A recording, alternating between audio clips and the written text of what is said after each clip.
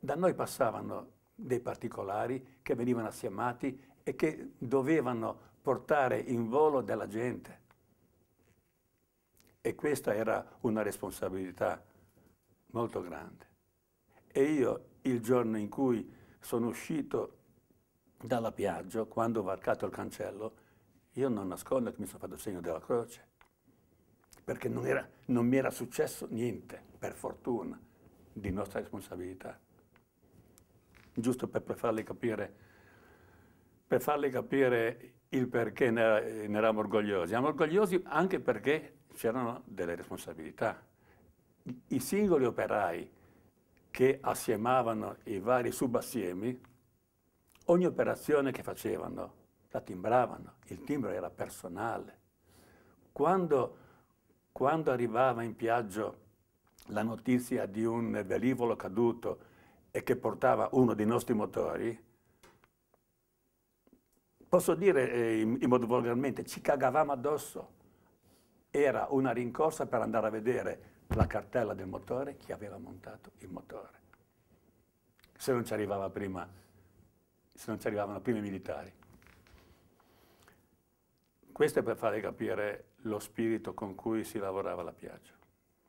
Un velivolo, un velivolo, che, un velivolo tipo la pattuglia acrobatica o tipo il, il Mangusta, sono velivoli prestigiosi. E quindi il sapere che noi ci avevamo messo le mani, ma era motivo d'orgoglio. Non c'è... Eh, non so se riesco a trasmettere questa... È questo il motivo di proprio il, ci, il motivo che, che, ci dava, che ci dava tanto, tanta soddisfazione, anche, anche se eravamo poco remunerati. Ma questo, però credo che nessuna, eh, nessuna paga alta ci avrebbe dato soddisfazione, sarebbe stata sempre una rincorsa, è il lavoro in se stesso che dava soddisfazione. E questo motivo di orgoglio lo provavamo specialmente in occasione delle, dei passaggi della pattuglia acrobatica, dove i velivoli eh, montavano dei motori che erano, che erano passati tutti da noi. Noi avevamo visto i singoli particolari, dal bulonetto ai dischi turbina, e vedere passare e, e sentire il rumore di, di, questi velivoli e quindi dei, dei motori, eh, non nascondo che ci facevano provare della, delle emozioni.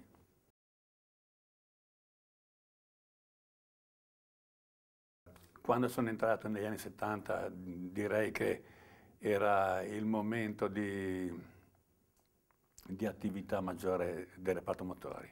C'erano linee di, di, montaggio sia nel Viper, nei motori Rolls Royce, quelli Lycoming in cui uscivano tanti motori ogni mese, ma tanti.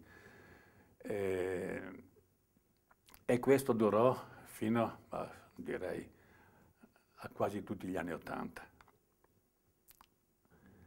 Poi, poi cominciò eh, a calare la, la produzione poi cominciarono i tempi della crisi, per cui eh, la difesa stanziava meno soldi. Con meno soldi i, i velivoli eh, volavano meno, avevano ridotto di brutto le ore, per cui volando meno rientravano meno motori. E rientrando meno motori c'era da, da, da, ridurre il personale, molto, molto... Ehm, molti dei nostri operai passarono ad altri, ad altri, ad altri reparti. Da lì cominciarono proprio eh, un po' a degradare fino, fino, agli anni 90 dove si andò in crisi piena. Non mi ricordo se era 1994. Eh, si mandavano in, in cassa integrazione quasi tutta l'azienda. E questo arrivò come una notizia improvvisa. Mi arrivò eh, la telefonata del direttore che mi diceva, senti, eh, qui vanno tutti in cassa integrazione, eh, rimani tu e sceglimi due persone, una del, del, del, della linea Viper, una della linea delle, de, delle turbine Lycomi. Passai dei momenti di panico, perché mi sembrava mi sembrava una scelta difficilissima anche rispetto a chi, a chi sarebbe rimasto fuori. Ma mi disse il mio direttore, me lo devi dare dieci minuti, eh, non oltre, perché devo, devo comunicare. E allora scelsi due nomi.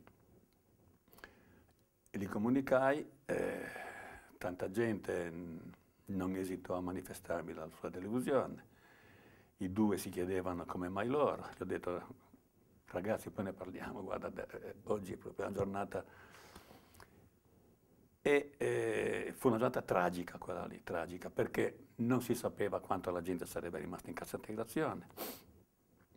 Eh, volevo precisare che siamo, abbiamo tenuto il, il, il, il, reparto motori aperto anche per volontà dei, dei militari, perché i motori erano, erano i loro. E per, per cui per qualunque evenienza, per qualunque necessità, per qualunque urgenza, loro avrebbero trovato comunque della gente che poteva affrontare l'argomento oppure andare addirittura fuori nei, nei campi dove, dove c'era bisogno. Questo era il motivo. E affrontammo l'inverno, l'inverno senza riscaldamento, al freddo, il tempo l'avevamo occupato nel, nell'aiutare il, il personale della Piaggio a fare gli inventari, gli inventari di tutti, magazzini, di qualunque cosa, per cui fu un'attività di questo genere. Non, non fummo impiegati per lavori tecnicamente nostri.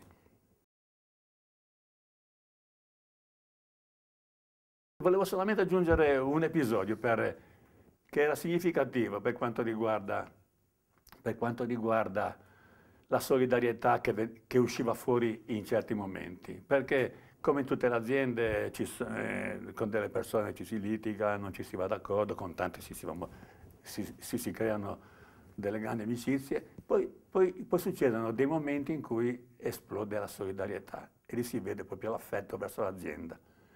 Se non sbaglio, nel 2002 ehm, il torrente che è adiacente agli, allo stabilimento esondò ed esondò anche all'interno dei capannoni. E fu il panico perché in terra c'erano pezzi preziosi e tutta la gente tornò alla sera per aiutare, per mettere su, per, per salvare il salvabile e quella è stata una, un'altra giornata che ricorderò sempre. Tutti quanti sono, sono venuti, non, tutti quanti, tutti, tutti, quelli che erano possibili, eh, sono tutti venuti dentro per, per dare una mano.